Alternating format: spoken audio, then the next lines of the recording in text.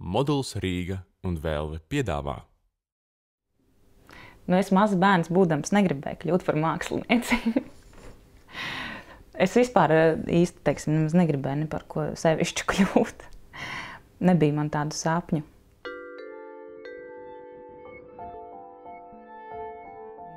Man nekas tāds konkrēti neinteresēja. Tā interesēja dzīve. Tā arī īstenībā varbūt vēl joprojām ir, ka man interesē dzīve. Bet uh, man interesē jā, tā dzīve, kas notiek ap mani. Bet, teiksim, jebkuru pulciņu es ātri nu, pametu. Pēc mēneša jau man interesē jau kaut kas cits, teiksim, visi keramikas. Man simts tūkstoši pulciņu bija bērnībā visādi izmēģināti. Nekur es tā īsti ilgi nepavadīju laiku. Bet, ja es tagad būtu bērns, mm, nu, tā kā, piemēram, man gribas, lai Antons ir dakteris, tad varbūt es gribētu būt dakteris. Jo man vienmēr licies, ka uh, dakteris ļoti skaidri zina, ko viņš dara, uh, ka viņš palīdz cilvēkam, un viņš var būt laimīgs un apmierināts ar to, ko viņš dara. Un vēl arī man tas liekas nenormāli interesanti medicīna. Es vienmēr, kad man ir bijusi iespēja, es um, lasu rakstus par slimībām, un, un es uh, Tad, kad es biju maziņa, tad man mīļākā grāmata bija slimība encyklopēdija, kur es sēžot uz podziņa, pāršķirstīju. Jo mums bija nu, tā sausā toleta, un tad man bija istabā podziņš, un tad, teiksim, vakarā, kad tev noliek gulēt, tad um, šausmīgi negribas vēl gulēt. Un vienīgā iespēja, kā ir nu, kā būt nomodā, legāli, ir sēdēt uz podziņa. un tad tu sēdi uz tā podziņa, šķirsti to medicīnas encyklopēdiju, lasi par briesmīgām slimībām. Līdz podziņš ir pielipis tev pie dibena tā, ka viņš tur gandrīz vairs nevar noņemt. Tā es pavadīju vakaru. Un es nezinu, ļoti reti man liekas, ir tādi bērni, kas paši saprot tiešām. Es nezinu, nu, desmit gados jau, piemēram, par ko tu gribi kļūt, vai nu vēl sešos gados. Protams, ka viņiem ir kaut kādi sapņi, bet likt uz to sapni visu tavu dzīvi, man tas liekas šausmīgi bailīgi. Nu, uzaugas uh, galīgi ne centrā, un tas man liekas ir ļoti svarīgi, un man bērnība bija pilnīgi savādāka. Un tad, kad mēs pārvācāmies, man bija 16 gadi uz brīvības ielu, un mēs pārvācāmies nu, tajos kādos 95. man liekas, varētu būt. Un, un dzīvoklī bija eiro remonts, un, un viss bija pilnīgi, pilnīgi savādāk. It kā likās, ka tā ir tā jaunā, skaistā dzīve, bet viņa bija diezgan apšaubāma. Jo nu, Zēļu ielā mums bija brīnišķīgs trīsistabu dzīvoklis bez vērtībām, ar toleti ārā, ar ļoti piepīpēts, netīrs tāds dzīvoklis, pilns ar grāmatām. Un, pamatīgi kultūras slāni. Tad, protams, pārvācoties visas tās liekās mantas, kas toreiz likās liekas, tika izmestas ārā un paņemts līdzi tikai pats svarīgākais. Un tad man tā nu, pusauģu gadi jau bija, jā, bija noritēja brīvības ielā. Ļoti negribās teikt, bet nu, gribētos pateikt, ka nu, senāk bija foršāk. tas jau nozīmē, ka es jau esmu galīgi veca palikusi. Ja es tā padomāju, tad īstenībā es eh, diezgan daudzus darbus esmu taisījusi, balstoties uz bērnības atmiņām.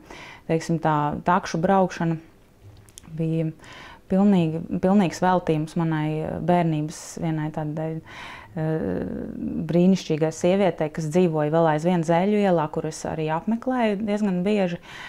Taksistei, kas nu, vēl aizvien 85 gadu vecumā braukāja ar taksi, viņai taks, viņa braukāja ar Volgu, Volgā sēdēja viņas vilku sugas suns, un citreiz pat vēl zosis. Nu, tas bija tāds rīktīgs tēls no, no bērnības. Un, un viņu es vēl apmeklēju, un es pat biju mūsu vecajā dzīvoklī. Man liekas, mums bija tāds pasākums, kur mammai bija 50 gadu jubileja, kad mēs visi atgriezāmies tajā vecajā dzīvoklī un tur iedzērām ar tagadējiem iedzīvotājiem šampanieti. Un, un, nu, tā jocīgi. Protams, visas tās atmiņas ir ļoti svarīgas un tādas spēcīgas. Gan gaisma tur bija savādāka, gan koki.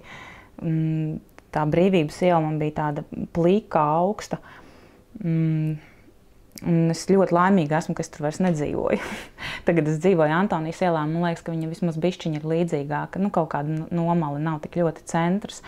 Un nav tik daudz biroja māju apkārt un kaut kādas tādas nepersonīgas dzīves kāda mums toreiz bija pilnīgi savādāk. Viss bija, bija pagalms, pagalms ar uh, visādiem brīnumiem, noslēpumiem, ar dzērāju, tur, koļu, ar uh, manām, manām bērnības draudzenēm, krievietēm. Brīnišķīgām, kāpēc es arī iemācījos krievu valodu. Ļoti vienkārši. Un, nu, tāda pilnīgi savādāka bērnība nekā maniem bērnam tagad būs. Bērniem ir un būs.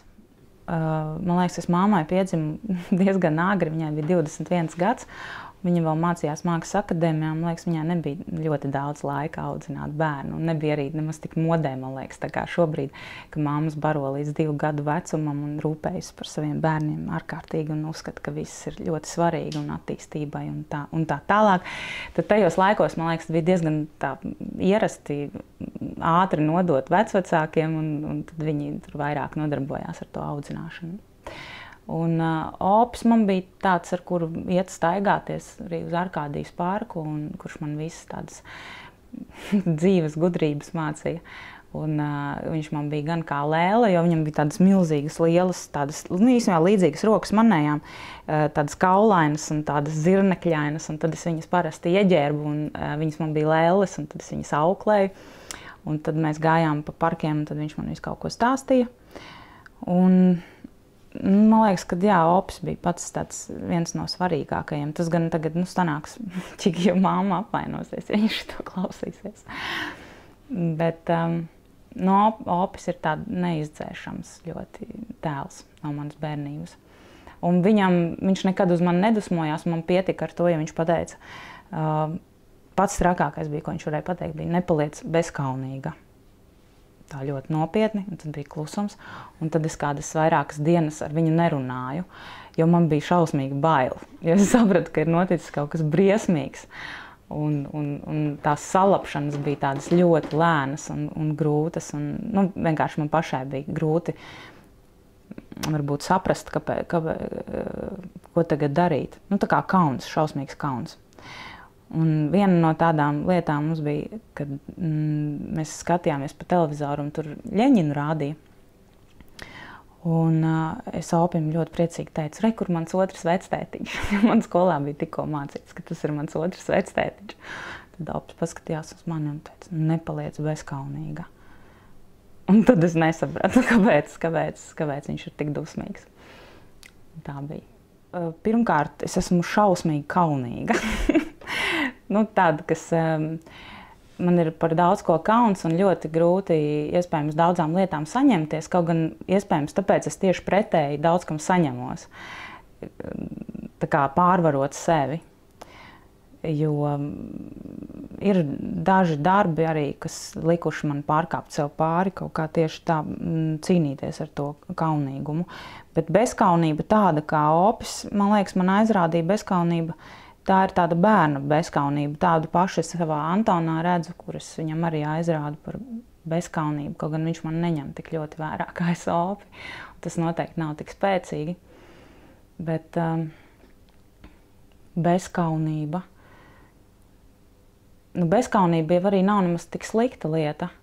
Jo, ja tu sanāc, nu, tā iekšējā cenzūra un kaut kāds kaunīgums tikai nodara sliktu.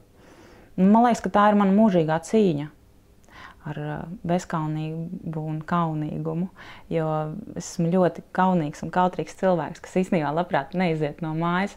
Tad es saņemos, un tad es esmu tas atkal bezskaunīgais un huligānistiskais un stiprais cilvēks.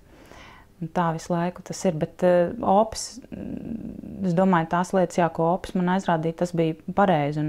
Tas bija vairāk audzinoši. Tas bija par to, ka ir jāciena vecāki cilvēki un nu, visādas cieņas, tādas gradācijas, kur, kur, kur, kurš atrodas. Šobrīd jau arī liekas, ka bērniem ir tikpat lielas tiesības kā pieaugušajiem. Ja. Bet toreiz, teiksim, es zināju kaut kādu savu vietu. Nu, es nekļuvu ne bezskaunīga tieši tā. Es centos nebūt bezskaunīga pret vecākiem cilvēkiem. Man vēl joprojām patīk vecākus cilvēkus uzrunāt uz jūs un uh, attiekties kaut kā cieņpilni. Visas tās manas darbības, es viņas nemaz nevērtēju kā kādu mākslu, kā tādu mākslas izpausmi. To jau drīzāk pārējie cilvēki izdomā. Jā, viņa ir māksliniece, viņa darbojas tādā veidā, ka tas izskatās pēc mākslas. Teiksim. Un, um, man visu laiku tā sajūta ir tāda, ka es nodarbojos ar to, kas manī ļoti interesē. Tā ir. Varbūt es pat varēju pilnīgi, pilnīgi kaut kas cits būt. Un, tāpēc es tik nopietni tam vērību nepiegriežu, lai es interesētos par mākslas tradīcijām un uh, kaut kā, protams, skolas laikā es mācījos mākslas vēsturi un, un mācījos zīmēt un daudzas ļoti klasiskas vērtības apguvu, bet uh, tagad, kad es nodarbojos ar to, kas man patīk un interesē, man liekas, ka, nu, ka es pati sevi tā nesaucu par mākslinieci. Man senāk pavisam bija kauns no tā vārda. Man viņš vienmēr tādu nērtības sajūtu uzliek, kad es par to saku, kad es tā kā būtu mākslinieci. Protams, ka citā kaut kādā kategorijā man arī grūti ir ievietot. Es neesmu ķirurgs vai kaut kas tāds. Ne, nu man, paldies Dievam, ir paveicies, ka man nav jānodefinē un jākļūst par konkrētu profesijas pārstāvi. Nu, tādā ziņā, lai es tagad ierakstītos kaut kādā jā, reklāmas aģentūrā. Es domāju, ka es ļoti mocītos, jo man ir nācies saskarties ar teiksim, reklāmas aģentūrām dažreiz. Un, uh, es vispār nevaru samierināties ar to, ja man pirmo ideju nepieņem.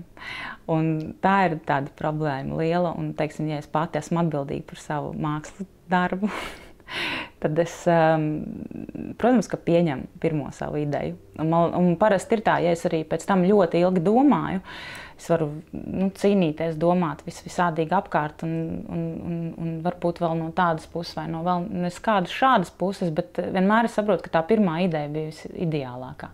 Teiksim, man būtu vienkārši man nogalinātu tajā reklāmas aģentūrā kur prasa par vienu tēmu 16 idejas, un pēc tam mēs vēl brainstormā viens ar otru runāsim, un mēs pierādīsim, kura ideja ir visbrīnišķīgākā.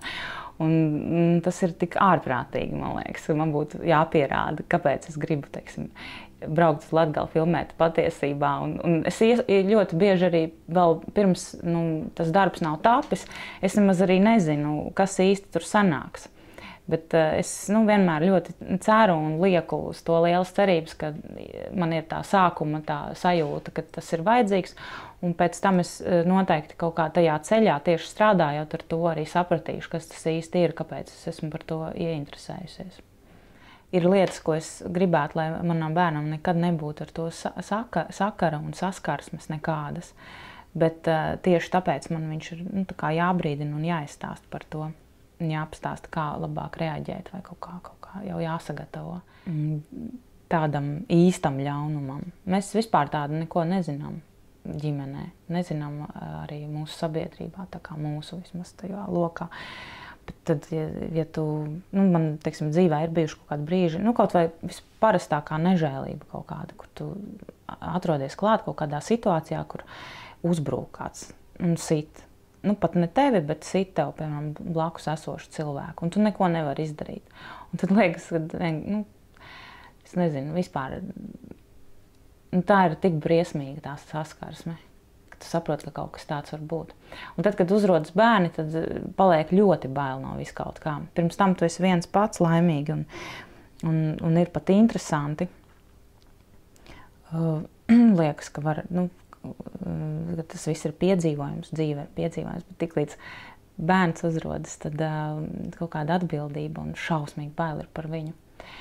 Un tad vairs nekādi joki nav. Tā kā, piemēram, manā omā tādu karu uztver, kad viņai bija 16 gadi, otrā pasaules kara laikā, viņa to uztvēra tiešām kā piedzīvojumu. Tik daudz, cik viņa man ir stāstījusi, viss ir tāds jaunība, karš, iemīlēšanās, visādi piedzīvojumi. Bet tiklīdz tev ir bērns, tad uzreiz tas viss ir pilnīgi savādāk. Ir ļoti bail no daudzām lietām. Bail ir arī nomirt. Tā kā, ja pirms tam nebija tik, tik ļoti bail, tad tagad ir vairāk bail. Jo liekas, ka vajag tomēr būt tuvumā tam bērnam.